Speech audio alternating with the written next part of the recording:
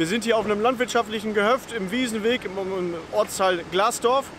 Wir sind hier so circa 13.04 Uhr, 13.05 Uhr mit dem Stichwort Hallenbrand alarmiert worden. Bei unserem Eintreffen stand hier eine landwirtschaftliche Halle im Hintergrund auf dem Gehöft, schon zu großen Teilen in Vollbrand. In der Halle gelagert waren landwirtschaftliche Maschinen, Stroh und am Ende der Halle haben wir dort auch einen elektrischen Verteilerraum, der große Teile des Hofes hier mit Strom versorgt. Aufgrund der Brandausbreitung und auch der Tageszeit, wo ja nun auch nicht sofort alle Feuerwehrkameraden sofort an der Einsatzstelle sein können, hat unser zuständiger Einsatzleiter, unser Gemeindebrandmeister, das Stichwort von Feuer 2 auf Feuer 4 erhöhen lassen und in dem Zusammenhang auch die Feuerwehren Frieseute und Garrel zur Einsatzstelle beordert. Die Feuerwehr Frieseute unterstützt uns unter anderem hier auch mit der Drehleiter und äh, beide anderen Feuerwehren natürlich auch ähm, durch die Versorgung mit Löschwasser als auch mit Personal und insbesondere Atemschutzgeräteträgern. Wir haben hier das Problem, dass wir ein bisschen abseits der Wasserversorgung liegen. Das heißt, wir haben Probleme mit der Wasserversorgung, gerade bei ähm, einem solchen Brandausmaß in dieser Ausbreitung, um relativ schnell sehr viel Löschwasser zur Verfügung zu haben. Daher haben wir uns entschieden, neben zwei B-Leitungen, die hier liegen, auch einen Pendelverkehr mit Tanklöschfahrzeugen einzurichten, unter anderem auch mit unserem neuen GTLF 9000 was hier zum Teil auch im Hintergrund im Einsatz ist.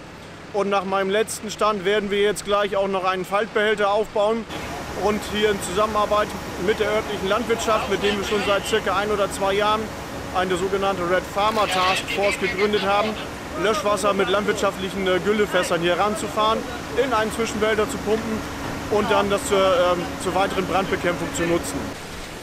Aktueller Stand ist der, dass wir nach ähm, nur von einem Sachschaden reden müssen. Wir haben nach meinem bisherigen Stand keine Verletzten, auch keine Schäden an äh, Tieren. Ähm, das Feuer ist aktuell im, unter Kontrolle und wir beginnen jetzt mit umfangreichen Nachlöscharbeiten, die uns hier mit Sicherheit noch äh, mehrere Stunden beschäftigen werden, bis das hier komplett gelöscht ist. Insbesondere ein Problem ist auch hier noch ins Innere der Halle vorzudringen, weil dort auch noch gepresste Stroh lagert. Ähm, das ist in der Brandbekämpfung nicht immer ganz einfach.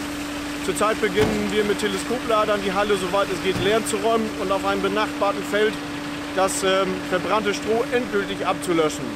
Aktuell sind wir hier im Einsatz mit ca. 100 Einsatzkräften ähm, aus den drei genannten Ortsfeuerwehren. Wir haben hier die Drohnengruppe des Landkreises in der großen Ausführung hier, das heißt unterstützt auch durch das THW vom Ortsverband Kloppenburg. Das DRK aus Bösel beliefert uns gerade mit Getränken ich vermute, dass wir hinterher auch noch eine Verpflegungskomponente von denen bekommen werden. Wir haben einen äh, Rettungswagen zum Eigenschutz hier noch auf der Einsatzstelle und natürlich auch zur Betreuung der Angehörigen der, der Hofstelle.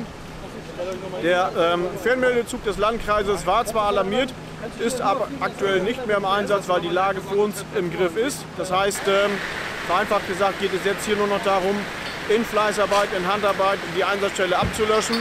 Hauptaugenmerk aktuell ist neben der Wasserversorgung das Halten eines elektrischen Betriebsraumes, an dem noch benachbarte Ställe hängen. Und ähm, wenn der uns ähm, noch in Brand, äh, wenn der in Brand stehen würde, beziehungsweise so weit beschädigt werden würde, dass die Stromversorgung hier gekappt werden müsste, hätten wir große Schwierigkeiten, umliegende Stallanlagen mit mehreren 10.000 Tieren mit Strom zu versorgen. Und ähm, das ist gerade das Hauptaugenmerk.